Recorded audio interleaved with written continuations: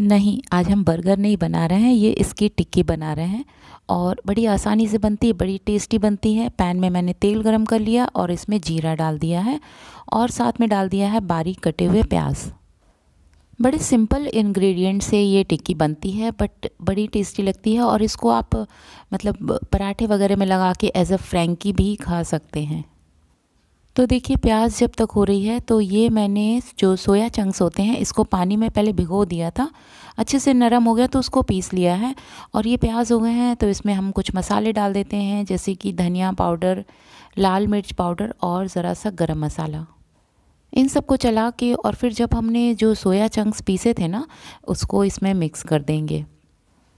Soya chunks को हमें तीन से चार मिनट भूनना है ताकि इसका कच्चापन नहीं लगे। और लगे तो आप थोड़ी सी पानी इसमें सींच सकते हैं तो एक मॉइस्ट रहेगा, बहुत ड्राईनेस नहीं आएगी।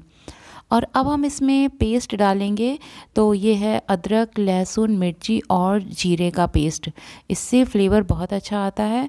तो ये मसाला मैं हमेशा बना के रखती हूँ और कई सारी चीज़ों में डलता है। और फिर साथ में मैंने डाल दिया ये पनीर ग्रेट करके और सारी चीज़ों को बढ़िया से मिक्स कर लेंगे। और ये मैंने आलू भी बॉईल किए थे तो आलू भी ग्रेट करके इसमें मिला देंगे। आप यदि चाहें तो इस स्टेज पे कुछ हरी सब्ज़ियाँ भी बारीक काट के डाल सकते हैं बट मैंने इसको सिंपल ही रखा है। अभी इसमें डाल दिया है नमक, स्वादानुसार। अब बाइंडिंग के लिए दो ऑप्शन है, या तो आप बेसन को हल्का सा रोस्ट कर लें। ये मैंने लिया है भुने हुए चने का पाउडर उसको पीस लिया था, उसके छिलके निकाल के पीस लिया था तो अलग से भूनना नहीं पड़ता है। तो ये भी हमारे घर में रहता है तो तुरंत आप इसको पीस के डाल सकते हैं, नहीं तो फिर बेसन भून के। और गैस की फ्लेम बंद कर देंगे और थोड़ा ठंडा हो जाने देंगे ताकि हम इतना हीट रहे कि हम सह सकें। और बस इसकी मन चाहे शेप में टिक्किया दे दीजिए। तो अब बर्गर बना रहे हैं तो मैंने गोल शेप दिया है और इसको हम शैलो फ्राई कर लेंगे। अभी जैसे हरी मटर का सीज़न है तो आप इसमें हरी मटर भी डालेंगे ना तो वो भी बड़ी अच्छी लगेगी।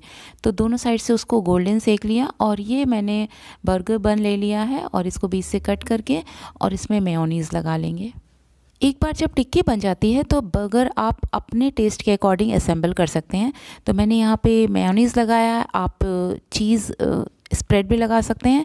अनियन स्लाइस टमाटो स्लाइस और जो भी आपको वेजिटेबल्स लगानी है वो, और मैंने चीज़ स्लाइस भी लगा दिया है, थोड़ा सा पिज़्ज़ा सीजनिंग और ये टिक्की रख के बगर उसके ऊपर थोड़ा सा टमाटो केचप भी मैंने लगा दिया है और इसको 10 सेकंड के लिए माइक्रो ओवन कर देंगे तो टेस्ट एकदम बहुत अच्छा इन्हेंस होके आ जाएगा।